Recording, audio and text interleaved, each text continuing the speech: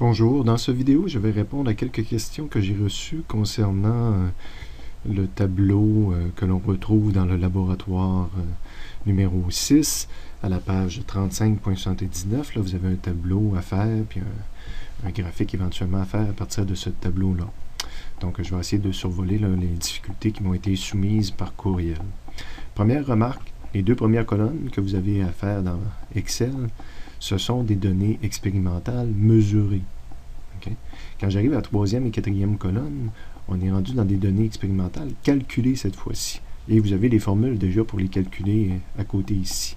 La colonne R, qui dans les faits correspond à la résistance finale, à la résistance que j'obtiens un coup que j'ai mis tel voltage, ben, se calcule en faisant delta V divisé par delta IR.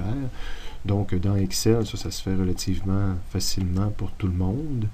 Euh, souvent, quand on programme une formule, moi, je recommande toujours à mes étudiants d'aller cliquer sur la dernière formule pour voir comment elle s'est calculée à l'aide de l'adresse des cellules, mais à l'aide du code de couleur aussi fourni par Excel. Fait qu'on voit qu'il a fait la case bleue divisée par la case verte, donc delta VR divisé par delta IR. Ça, ça allait bien. Bon, certains étudiants n'avaient pas la bonne valeur de température, avaient plus de difficultés à obtenir la bonne valeur de température. Moi, quand j'analysais les tableaux d'un étudiant, la première des choses, je regardais s'il y avait les mêmes données expérimentales que moi, de 0.05 à 0.17, de 0.05 à 0.19. Pour moi, c'est le même monde. Évidemment, ça, c'est dur de se tromper, de 0 à 12, de 0 à 12. Son calcul de résistance commençant 7.4, moi, Initialement, c'était 5.3. Je trouve que c'est acceptable dans les deux cas. De 19 à 66, de 18 à 60, moi je dis que ça, c'est réussi. Bon, température de 580 à 2313. Là, c'est sûr qu'il faut que j'essaye de trouver une erreur. Bon, euh, première des choses, première remarque, juste au niveau euh, esthétique, si vous mettez le R en indice si je le sélectionne, différentes façons de le sélectionner. Menu contextuel, donc j'appuie sur la souris, bouton de droite. Je vais avoir format des cellules et je peux le mettre en indice. Donc, euh, des fois, ça améliore la vision. Vous juste à faire la même chose pour les autres.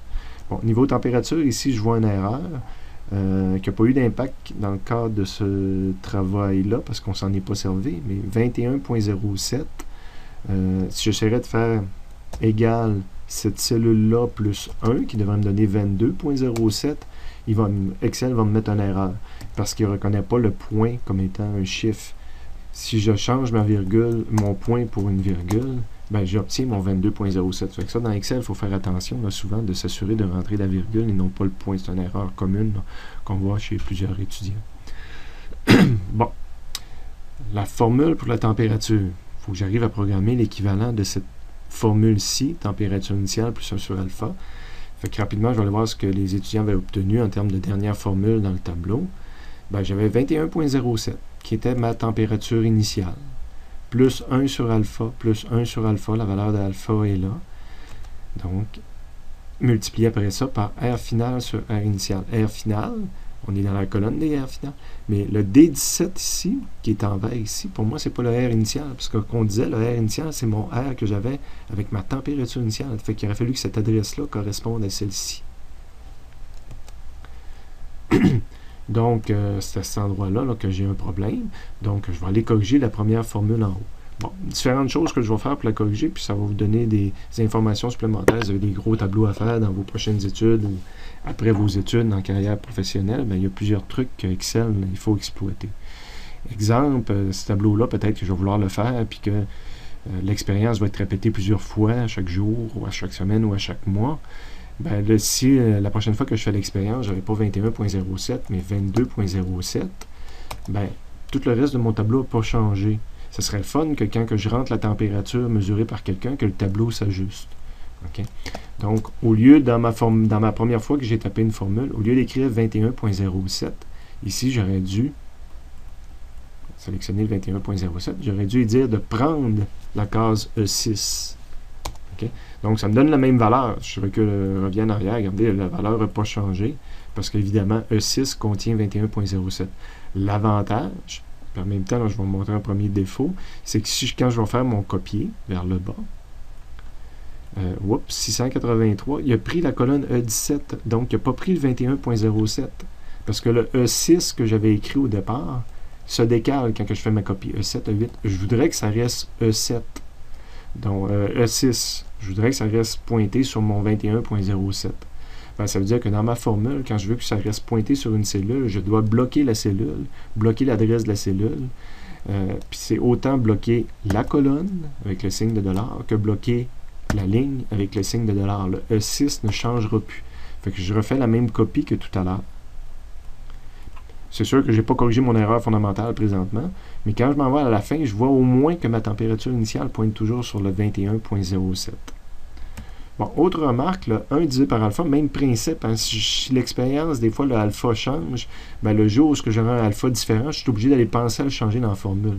Personnellement, j'aurais probablement écrit que alpha est égal à, puis ma valeur de 0.045, je l'aurais mis dans une case ici j'ai un 4 à la fin par accident. Encore une fois, hein, des fois on se dit, ah, j'aimerais mieux que ça écrive alpha ici. Ben, tu le sélectionnes, puis tu peux aller dans les symboles en haut, puis changer pour alpha.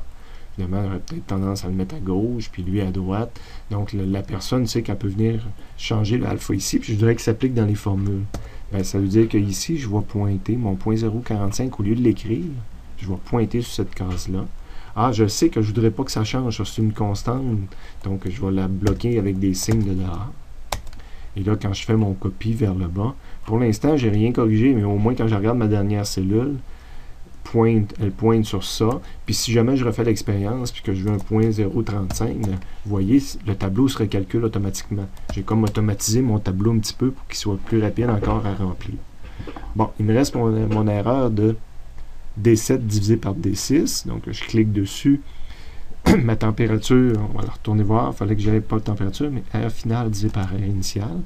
Ben, en rose, ici, j'ai mon D7, mon R final. Divisé dans ce cas-ci par D6, c'est bon, c'est mon R initial. Mais quand je vais être rendu à la deuxième colonne en dessous, je vais vouloir que ce soit le 29 divisé par 7.4. Le 35 divisé par 7.4. Donc, il faut que le 7.4 reste constant je mets les signes de dollars devant du D6. Et une dernière fois, je m'essaie de descendre vers le bas.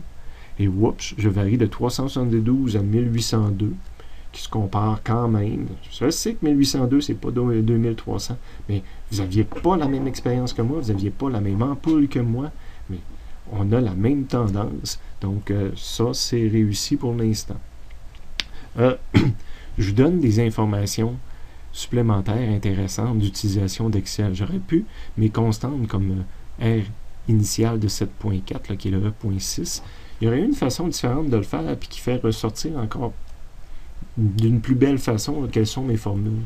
Ici, 7.4, à l'aide de l'outil euh, formule définir un nom, on clique là-dessus, et il nous ouvre une fenêtre qui présentement fait référence à la cellule D6 de la feuille 1, donc qui fait référence au 7.4 qui est là, qui propose de lui donner un nom. Il a regardé la case en dessous, mais moi, présentement, euh, euh, actuellement, je préférerais qu'il l'appelle RINI, ce 7.4-là. Donc, j'accepte ça. Puis, si je m'en vais dans les gestionnaires de noms, j'ai un, nom officiel qui correspond à 7.4, qui fait référence à cette cellule-là de ma feuille de calcul. Je pourrais faire la même affaire pour température initiale lui définir un nom, appeler ça TINI, faire référence à E6, excellent. Et je pourrais même faire euh, définir un nom pour le alpha qu'il y a. Quoique là, je pourrais probablement pas lui donner la lettre grecque alpha ici, mais des fois, ce que je vais faire, moi, je vais l'appeler alpha, qui fait référence à H5, la cellule qui est en arrière. Et quand j'aurais eu à programmer ma cellule, ma formule, ce que j'aurais probablement rentré, au lieu de E6, programmer R ini. Puis il, finit même par m'offrir le choix, il reconnaît. Fait que si je double-clique, regardez, il, écrit R ini ici. Puis là, H5 qui était bloqué, c'est mon alpha. Fait que je commence à écrire alpha, il va finir par me l'offrir. Je clique dessus. Puis le D6 ici, c'est mon R initial. Euh, euh, je me suis trompé tout à l'heure, je pense. Hein. Ça, c'est mon R initial. Donc, je clique dessus. Puis c'est ici, j'aurais dû avoir température initiale. T il finit par me l'offrir, ou je l'écris au complet. Puis là, je fais Enter. J'ai la même valeur que tout à l'heure, mais j'ai des choses que je reconnais encore plus facilement dans mes, cellules. Évidemment, le D7, je ne peux pas le remplacer par R final, parce que là, il y aurait plusieurs R final, qui n'est pas une constante. Et quand je vais la copier, par défaut, étant donné que c'était des noms, il a gardé des noms jusqu'à la fin. Il ne fait pas le décalage des cellules au même titre que quand on a une cellule comme D7, il va se mettre à la décaler, des 8, des 9, des 10. Ben, oui, il décale l'adresse d'une cellule, mais il ne décale pas l'adresse d'un nom qu'on a défini. Ce qui fait qu'à la fin, ben, quand je regarde ma formule, ça correspond un peu plus à ce qu'on voit ici. C'est plus facile à interpréter. J'ai ma température initiale plus 1 sur alpha. La seule affaire qui est plus tenante à interpréter dans un cas comme ça, c'est se demander à quoi correspond température initiale. Mais avec le code des couleurs, on le voit quand même. Ça veut dire que cette case-là été définie comme étant la case température initiale, puis la case en verte a été définie comme le alpha, etc. Fait qu'on arrive quand même à le voir.